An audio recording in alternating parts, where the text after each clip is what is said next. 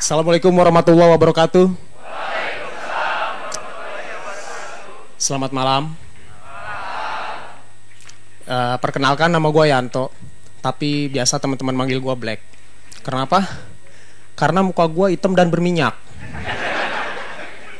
Nih gue kasih tau sama lu ya, muka gue berminyak itu karena gue habis operasi plastik. Pakai plastik resek bekas gorengan.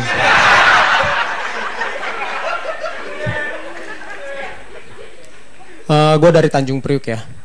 Ada yang bilang kalau dulu daerah yang bekas uh, kuburan itu angker, serem.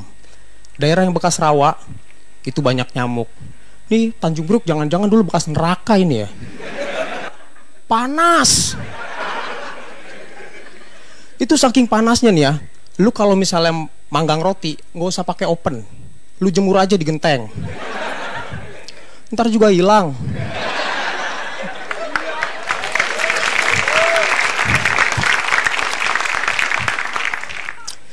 Ya, di Tanjung Priok itu banyak kaki lima, bikin macet. Kaki lima jualan udah bukan di trotoar lagi, tapi di bahu, di bahu jalan. Itu kaki lima, kaki lima, kaki lima. Lama-lama jadi kaki seribu. Kaki lima juga biasanya perebutan sama ini, perebutan lapak sama angkot ngetem. Itu kesel ya. Gue kalau misalnya mau lewat tuh macet. Gue ke Metro TV aja nih, itu sama kayak pulang kampung.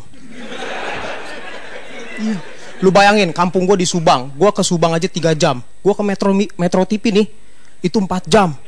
Ini udah sampai Tegal gue ini kelewatan. Ya apalagi kalau misalnya macet itu gara-gara kaki lima ya, gue kesel. Kesel gue mau belanja nggak punya uang. Di Tanjung Priok juga itu bocah-bocahnya kurang ajar, suka naik motor kebut-kebutan. Puncengan bertiga. Itu kan kalau jatuh kasihan ya. Kasihan bapaknya punya motor satu-satunya rusak. Ini mak gue dulu tuh, mak gue dulu tuh kalau gue naik motor kayak gitu tuh khawatir dia. Dia tuh takut, takut nggak punya uang buat ganti motor orang.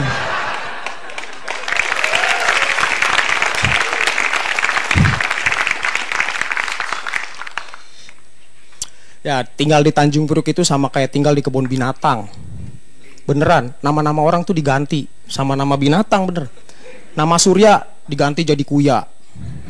Nama Sapi diganti jadi Sapi. Ini kasihan dokter ya. Iya dia sekolah tinggi-tinggi nih, capek-capek sekolah tinggi dapat gelar dokter dipanggilnya apa? Kodok. Dok, mau ke mana dok? Nah, coba lu bayangin gitu, lu bayangin seandainya nih uh, si sapi berobat ke dokter. Mas sapi sakit apa? Sakit perut, dok. Emang makan apa? Rumput lah. Masa saya makan laler? Emang saya kodok?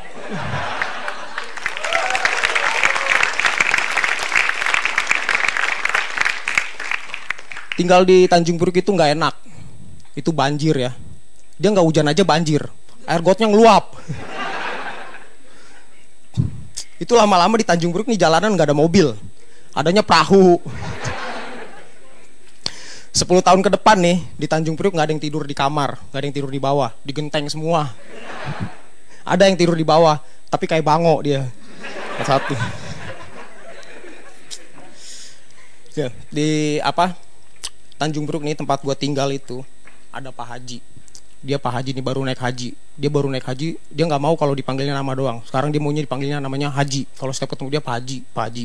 Padahal kan haji itu rukun Islam ya, bukan gelar. Dia beneran. Terus ada caleg-caleg gitu kan pakai gelarnya haji. Haji odong apa udah. Dia pakai gelarnya haji caleg gelar haji. Tukang bubur gelarnya haji. Sampai ada penyanyi nih penyanyi nih dipanggilnya bang haji. Terlalu.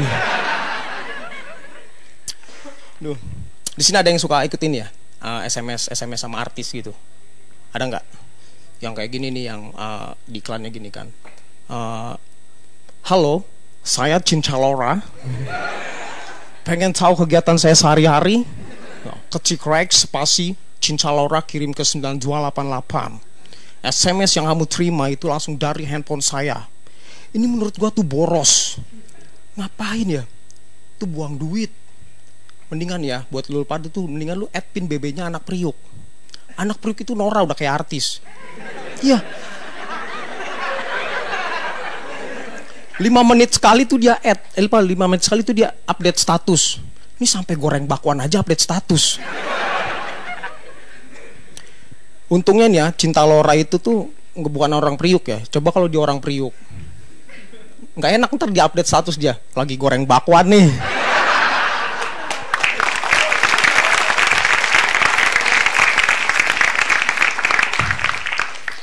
Nah, di Tanjung Priuk itu juga ini uh, ada yang bilang di Tanjung Priuk itu banyak preman. Salah. Di Tanjung Priuk itu nggak ada preman. Adanya orang-orang yang belaga sok preman. Iya beneran. Itu dia kalau minum sebotol aja udah kayak minum 15 botol. Jalan miring-miring. Muntah. Uh, muntahnya apa muntahnya? Mie rebus.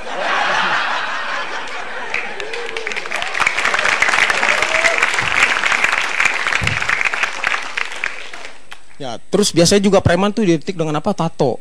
Itu zaman dulu ya. Kalau zaman sekarang enggak, semua orang udah pada punya tato. Cewek, cowok pada punya tato. Artis aja punya tato. Ada artis cewek yang punya tato. Uh, dia tatonya banyak. Ya, misalnya si ini nih siapa? Yang artis cewek tatonya banyak? Uh, Nikita Marjono. Itu tatonya banyak dia. Di tangan. Uh, di badan. Uh. Di kaki ya kan? Di muka doang gak ditato. Di dempul. Kayak body penyok. Terima kasih, selamat malam. Gue Yanto Black. Merosot lagi. Mau tumpuk pas sepeda mau diambil, colong orang sepedanya. Woi, sepeda gue tuh.